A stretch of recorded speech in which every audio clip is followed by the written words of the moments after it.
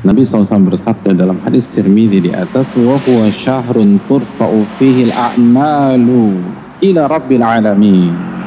Bulan Sya'ban adalah bulan di mana amal-amal soleh diangkat ke Rabbul Alamin. Fa uhibbu an yurfa'a amali wa ana sa'im. Oleh karena itu aku ingin ketika amal-amalku diangkat, aku dalam kondisi berpuasa. Satu tahun ini apa amalan kita? Berapa kali khatam? Berapa kali miss zikir pagi petang? Bagaimana murojaah hafalan Quran kita? Berapa kali kita ngapain terus sholat kita gimana? Sholat itu dijaga nggak nih satu tahun ini? Lalu puasa Senin Kamis puasa-puasa ayam bid infak sedekah kita berapa setahun ini? Berapa persen yang ikhlas kepada Allah Subhanahu wa taala? Berapa persen yang khusyuk?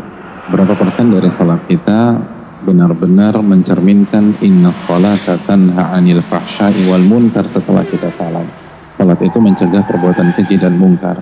Begitu masuk Syaban yang harus ada di benak kita dan hati kita. Ini amal-amal kita satu demi satu diangkat oleh Allah.